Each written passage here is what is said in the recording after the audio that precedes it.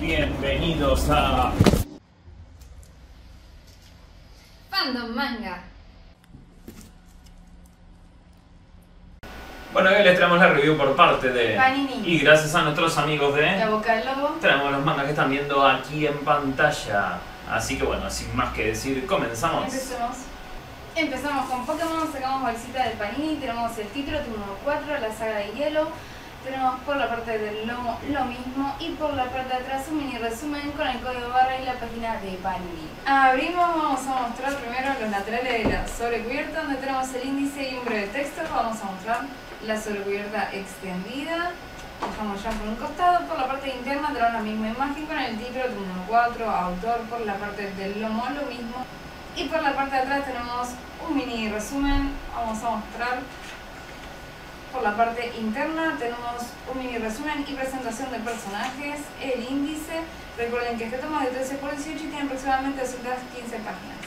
Bueno, y acá vamos a tener justamente la historia de Pokémon que todos más o menos conocemos, pero esta vez basada más fielmente en lo que sería la historia de los videojuegos, pasando por cada una de las sagas, por eso tienen los distintos nombres, y a su vez vamos a tener una historia mucho más cruda donde los combates llegan hasta el final realmente y vemos los daños que pueden llegar a causar tanto a personas como a Pokémon.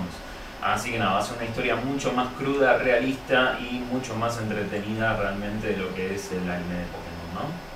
Vamos a llegar a lo que es el fin del tomo. Tenemos unos detalles adicionales, la página de legales y la página de cómo leerlo. Continuamos con Given, sacamos bolsita de Panini, tenemos como siempre en un material especial el título, número 8, autor, loguito de Panini, por la parte del lomo lo mismo y por la parte de atrás un mini resumen código barra página de Panini y loguito de Panini. Vamos a mostrar los laterales y a mostrar la sobrecubierta extendida. Dejamos ya por un costado, por la parte interna tenemos estos detalles, por la parte del lomo el título, tomo número 8, el autor, loguito Panini, por la parte de atrás estos otros detalles. Abrimos, tenemos una hoja a color, Uh, presentación de personajes y resumen de la historia hasta el momento. El índice, recuerden que este tomo es de 13 por 18 y tiene aproximadamente 260 páginas. Bueno, acá vamos a tener a nuestro protagonista, se llama Ritsuka, que justamente descubre que todo lo que antes le gustaba ahora le parece monótono y aburrido. Un día por casualidad se termina encontrando con Mafuyu y tras escuchar su voz, este le termina diciendo que forme parte de su banda. Así empieza una historia de amor alternativo marcada por el misterio de una vieja guitarra y el poder sanador del amor, la música y los amigos. Así que bueno, hay que acompañen a estos jóvenes en su viaje a ver qué es lo que ocurre, ¿no? Llegando al final tenemos la página de legales. Seguimos con Hikaru ga Shinda Natsu, ah, no me cuesta. Tenemos el título, tomo 1, autor, loguito Panini, por la parte del lomo lo mismo y por la parte de atrás un mini resumen, código barra, página de Panini y loguito de Panini. Por la parte de los laterales, ah, solo tenemos el color. Vamos a mostrar la sobrecubierta extendida. Dejamos ya por un costado, por la parte interna tenemos esta imagen con el título tomo 1, loguito de Panini, por la parte del lomo lo mismo y por la parte de atrás que continúa a la imagen. Vamos a mostrarla. Vamos a abrir y justamente como todo tomo número 1 tenemos esta hermosa postal que no... Ah, no, postal. Va, no, en realidad es... no sé. Claro, vendría a ser como una tarjeta con la imagen, ¿no? Porque es más grande de tamaño postal, pero sin postal en la parte de atrás. Antes teníamos el calendario o el señalador, esta vez tenemos eso. Bien, vamos a abrir. Tenemos la misma imagen puesta en un papelito chiquito como Sí. para que no se, no se Y que puede está sacar. enganchado, claro, o sea, O sea, del mismo papel que el resto de las hojas del manga, ¿no? Está medio plastificada, pero bueno. Tenemos dos hojas a color con el índice del otro lado. Este tomo es de 13 por 18 y tiene aproximadamente 180 páginas. Bueno, acá vamos a tener la historia de dos muchachos, se llama uno Hikaru y el otro Yo- Yoshiki, que son dos adolescentes que viven básicamente en un, pue- un pequeño pueblito rural que está en Japón y que fueron desde siempre amigos desde que eran muy niños porque justamente tenían la misma edad y eran básicamente los únicos de la misma edad así en el pueblo. Si bien sus gustos y pasatiempos eran bastante diferentes, tenían una, una amistad muy estrecha, ¿no? El tema es que un día todo esto cambia cuando de repente Hikaru desaparece en el bosque. Y ahí hay que ver qué es lo que ocurre, ¿no? Vamos llegando a lo que es el fin del tomo. Tenemos unos detalles adicionales. y la página de legales con el alto lo está leyendo mal. La verdad que me parece rarísimo lo de la mini postal Sí. ahí adentro, ¿no? La verdad que es muy curioso que venga así, primera vez que veo que vienen de esa tampoco es manera. una postal en realidad. No, no, pero tiene la misma imagen que, que el otro, el mismo, casi el mismo tamaño, o sea, es un poquito más grande, atrás es exactamente igual, no, no sé. La verdad rarísimo. Aparte chiquita, lo sumo poneme al lado de toda la hoja. Claro, el tamaño de la hoja sería lo más común, pero queda raro ahí recortado. Continuamos con Mushoku Tensei, sacamos bolsita de panini, ah, como cuesta. Y vamos con el título, tomo número 7, autor, loguito de Panini, por la parte del lomo, ah, lo mismo, y por la parte de atrás un mini resumen, codo barra y página de Panini. Vamos a mostrar los laterales de la sobrecubierta y a mostrar la sobrecubierta extendida. Realmente el arte es hermoso.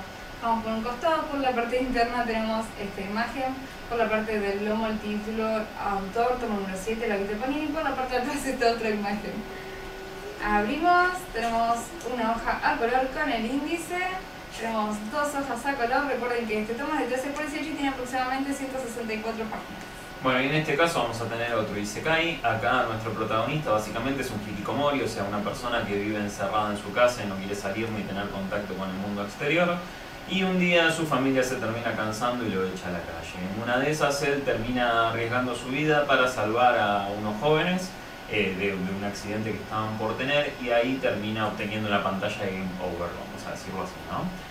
Resulta que llega a este nuevo mundo en el cual renace como un bebé y él conserva todos los recuerdos de su vida anterior, pero dice, bueno, listo, ya la estropeé una vez, no lo voy a hacer dos veces y trata de hacer todo lo contrario de lo que hacía antes, o sea, trata de aprovechar su vida al máximo.